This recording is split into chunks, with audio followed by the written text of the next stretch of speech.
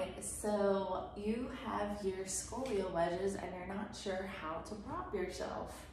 I'm going to do a little quick video about how to do that properly. I have Mr. Spiny here as um, my demonstrator, as my subject. Um, and he has a curve over on his left upper thoracic and right lower thoracolumbar area. So um, if you are looking at yourself in your x-ray and you can see that you have a curve, um, you are basically going to prop where your curve is pushing out to the side. Um, this is just one way to determine it. There's several different ways that you can go about doing this. Um, so at Spiny, we would be propping over here and we're putting the um, narrow end in first and we would be propping down here as well. So this is his back.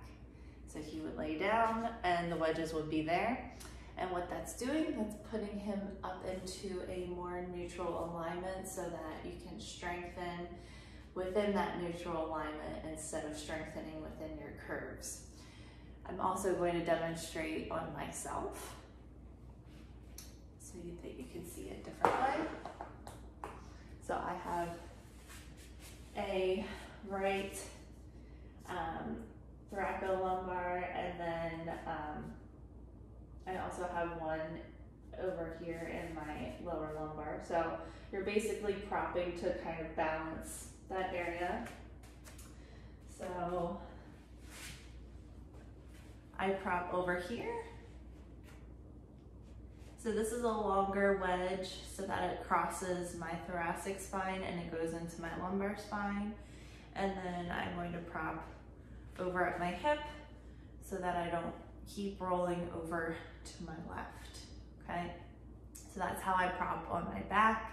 And then it would be the opposite on my stomach. So I would basically just flip around wedges around. So the fat end goes in first, and then I would prop here at my ribs, and then here at my hip. I hope you found this helpful. Um, if you have any questions, you can send me a message or an email at megclunk at gmail.com or you can check out my website at www.mindfulmovementptpilates.com. Have a great day.